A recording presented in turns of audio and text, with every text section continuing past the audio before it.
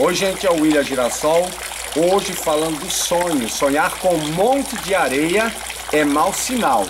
Então, se você sonhar com areia e areia, aquele vento com areia, ou montão de areia, é mau sinal, não é coisa boa. Fique esperto, reze um Pai Nosso, tá? Que tudo vai se resolver. Mas sonhar com areia é mau sinal. Tá dado a dica aí de sonhar com areia.